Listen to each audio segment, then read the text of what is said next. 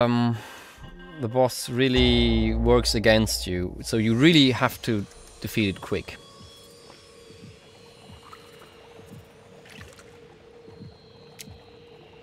Because um, yeah, that will happen. The the middle arm or the the rest of the balloon, the middle balloon, will um, block the missiles from hitting the the left one.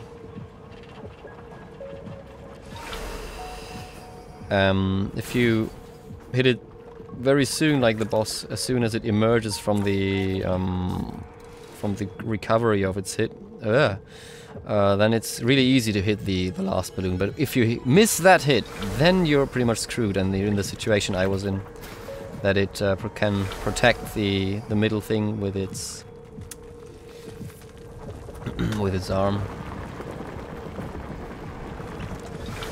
That's really unfortunate because the one was actually good. I'd say it didn't suck.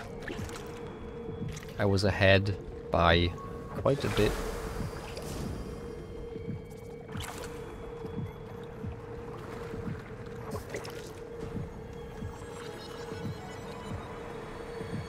So it's unfortunate it died and that it died to this boss which I thought I had figured out how to beat it consistently kind of fast, but...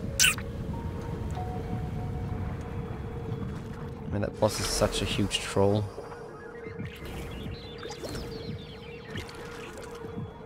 There.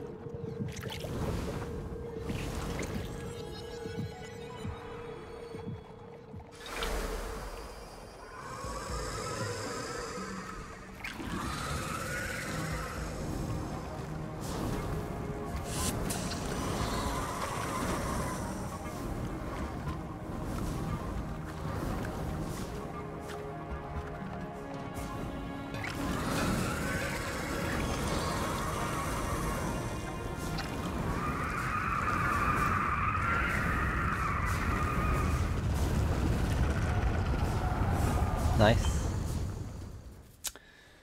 Nice world record.